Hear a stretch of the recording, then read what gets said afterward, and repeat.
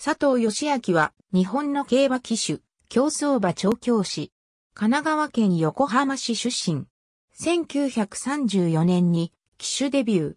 第二次大戦後、牝馬として初めて皐月賞に優勝した時津、風や、それぞれ優春牝馬優勝馬の八島姫、フェアマンナの主戦騎手を務め、1960年の引退までに通算1399-1195勝、内重賞7勝を挙げた。翌1961年により調教師に転じ、1976年に管理場、クライムカイザーで東京優春に優勝している。1994年に定年引退。調教師、通算3749,235勝、内重賞5勝。父は、騎手兼調教師の佐藤家七。騎手、調教助手の橋口万夫は娘婿である。1916年、横浜競馬場所属の騎手だった佐藤家七の長男として生まれる。競馬場内で帰居しながら、旧制本木中学に進んだが、騎手を志して2年時で中退し、1932年より、家七の下で騎手見習いとなった。下宇佐御陵牧場で1年間の研修を積んだ後、1933年に横浜競馬を主催する日本レースクラブの騎士免許を取得した。当時の旧車社会は一門意識が強く、佐藤旧車は小勢力でもあったため騎乗機会は少なかった。太平洋戦争開戦後の1942年より兵役につき、新潟県新潟市の防空隊で終戦を迎えた。戦争の激化に伴って競馬は1945年から休止されており、また貸しも戦中に死去していた。競馬は1946年6月から再開される運びとなり、佐藤は同じ函館体系系の一門である大久保房松厩舎を新たな所属先とした。再開競馬の2日目から騎手として復帰。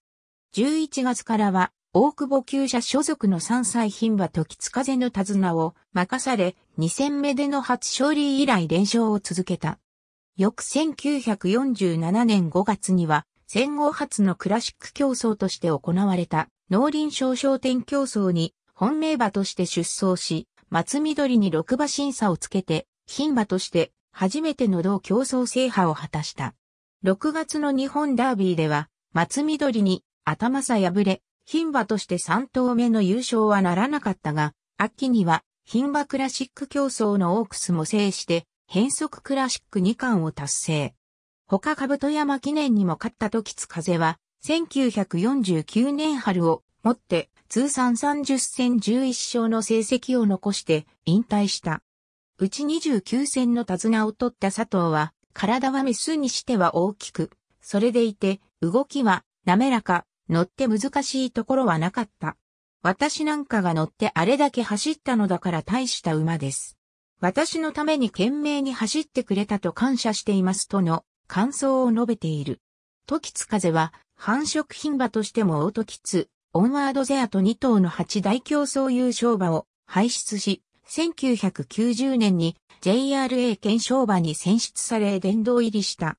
1948年にも八島姫でオークスに優勝。1956年にはフェアマンナでオークスなど重賞3勝を挙げた。その後佐藤は大久保の弟子である田村俊人氏、飯塚義嗣らに後を譲り、1960年に騎手を引退した。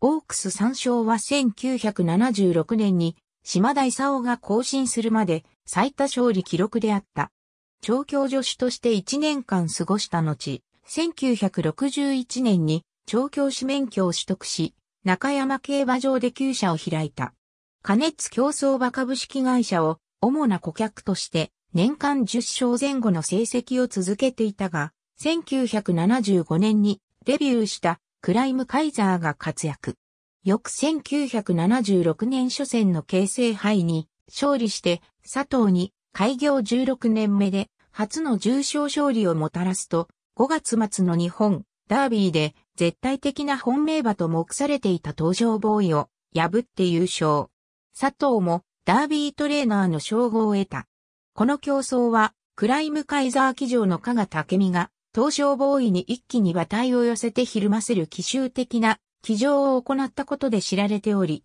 佐藤は加賀君に乗ってもらってよかったと感想を述べている。1978年、新規開場した美穂トレーニングセンターに厩舎を移す。以後はミクロン天狼、牧場サイクロンと散発的に重症勝利馬を出すに止まり、1994年2月末日をもって定年により調教師を引退した。主な騎乗は主な管理場。ありがとうございます。